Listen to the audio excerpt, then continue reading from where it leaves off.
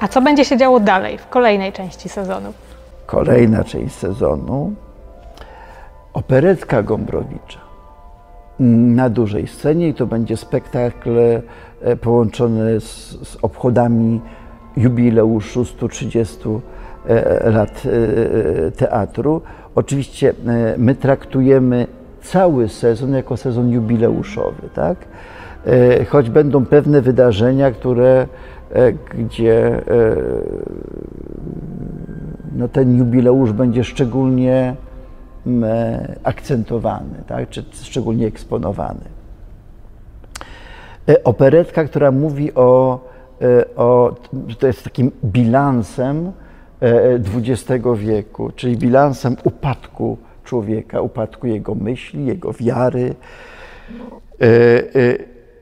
I również operetka jest utworem, który nie tylko rozlicza się z tym, e, z tym XX e, e, wiekiem, ale pokazuje, z czym weszliśmy, tak? Jacy weszliśmy w ten XXI wiek. To bardzo ważny utwór, a dla mnie, dla mnie szczególnie ważny. Właśnie dopiero co robił Pan operetkę w teatrze studyjnym. E, tak. E, I e, mm, będzie sporo elementów. We wszystkich scenach zbiorowych będzie młodzież z filmówki, choć wymowa tej wersji jaraczowskiej będzie nieco inna.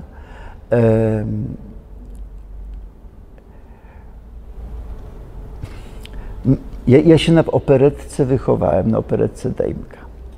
E, Gombrowicz był wtedy wielkim odkryciem. E, pamiętam, jak e, jako uczeń liceum plastycznego z moimi koleżankami, kolegami chodziliśmy do teatru. Te bilety były wówczas dla, dla uczniów śmiesznie tanie. Myśmy chodzili, ja, ja widziałem kilkadziesiąt razy tę operetkę. Ja znałem na pamięć jak zdarzyły się wpadki tekstowe aktorom, e, to ja e, e, pod nosem korygowałem, tak? Ale to też, to też wtedy dla nas była taka, taki pierwszy kontakt z, z, z wybitnym Gombrowiczem, o którym się dużo słyszało, a którego się nie znało. No, ktoś miał przemycone E, e, e, teksty czytane, czytane gdzieś pod kocem. To też wpłynęło na mój, można powiedzieć, że operetka, Dejmek, tak, teatr Dejmka, ale, ale, ale operetka miała takie szczególne miejsce w, w, jego twórczości, a przynajmniej szczególne miejsce we, we, mnie, tak, w moim odbiorze czy zachwycie nad, nad Teatrem Wielkiego Dejmka.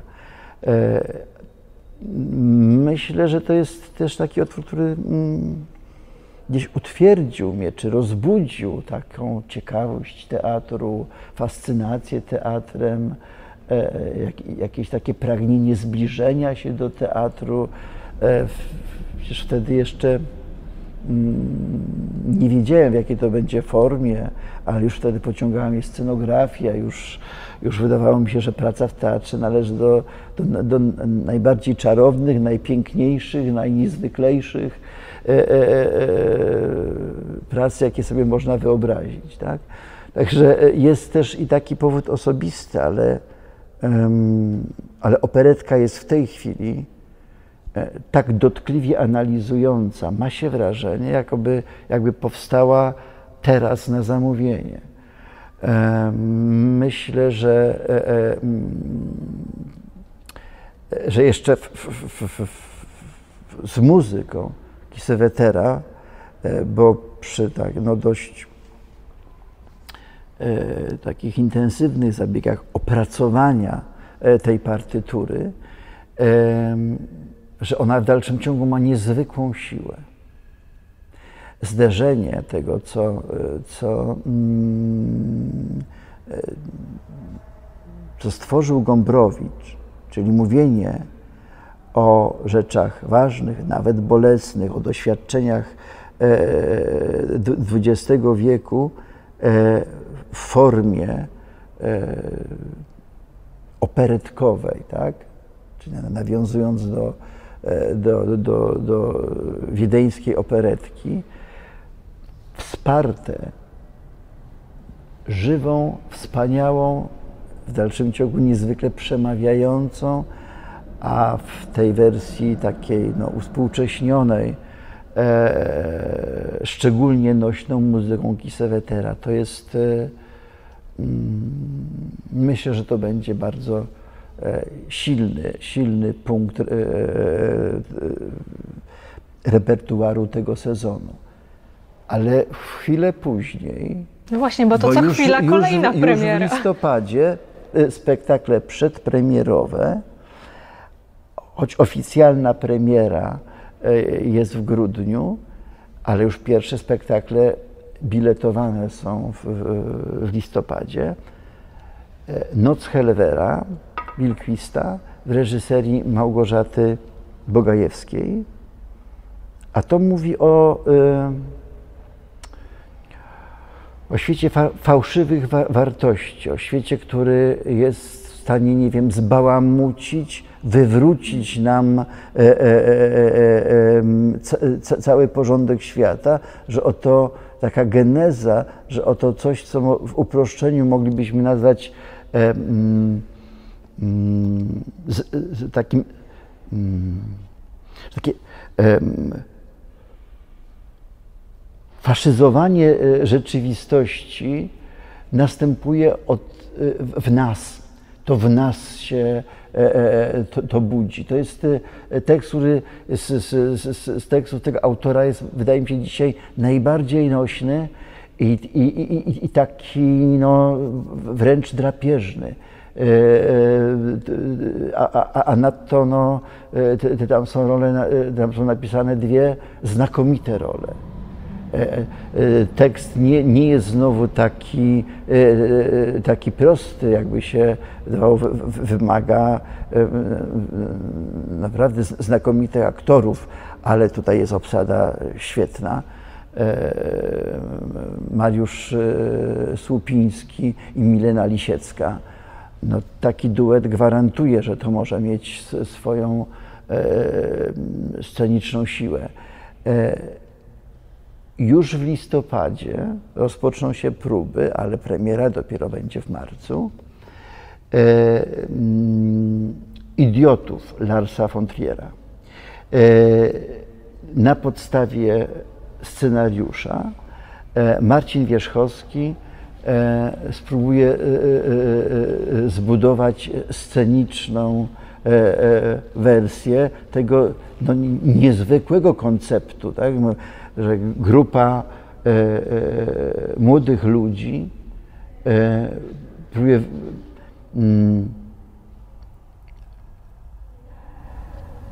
podejmuje się eksperymentu, można powiedzieć, takiego kontestowania rzeczywistości mieszczańskiej, więc wiem, myślenia, e, wartościowania, e, e, takich małych modeli życia, kreując się na grupę, zidiociałą grupę nieszanujących żadnych zasad młodych ludzi. Tekst jest niezwykle frapujący, a że mamy naprawdę bardzo dużo utalentowanej młodzieży. I myślę, że, a, a reżyser niezwykle interesujący, że z tego zderzenia może być, być no, bardzo ciekawa propozycja, no bardzo sobie, wiele sobie obiecuje po, po, po, po, spotkaniu Marcina Wierzchowskiego z, z, z grupą e, naszych aktorów. Widzowie pewnie też wiele sobie obiecują. Tak, mam nadzieję.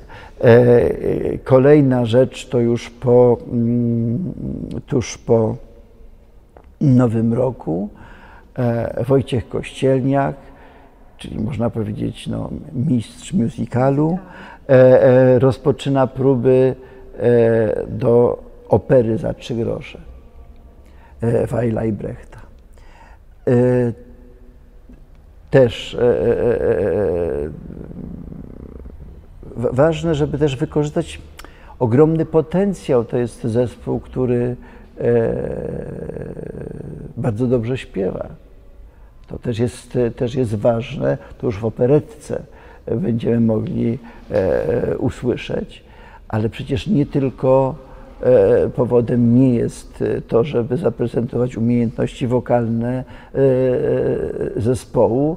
E, dawno nie, nie, nie widzieliśmy opery za trzy, za trzy grosze, a tekst, a tekst ważny i wydaje mi się, że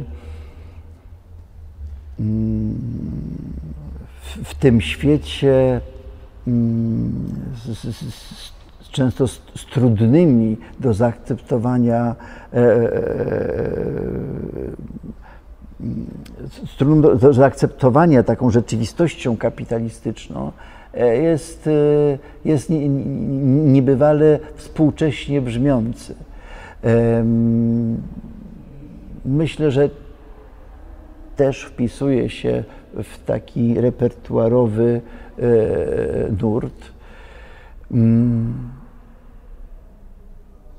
Mm. Na koniec trójka młodych e, reżyserów rozpocznie próbę, ale to już próby e, e, trzech tytułów, ale to już będzie z przerzuceniem na, na, nowy, sezon. Na, na, na, nowy sezon. Jakby te, te tytuły rozpoczną nowy sezon. Tam między innymi jest historia e, Kaspara Hausera, e, jest premiera tekstu Wernera Schwaba, ale wcześniej jeszcze wiosną mm, jesteśmy w trakcie ustalania tytułu, bo wszystkie trzy tytuły, które z Mariuszem Grzygorzkiem omawiamy, są, są warte grzechu. No, Czyli ale... Mariusz Grzegorzek znowu w Jaraczu będzie tak, reżyserował? Tak, tak, tak, tak. Ale, ale to no, pewnie na, e, niebawem e,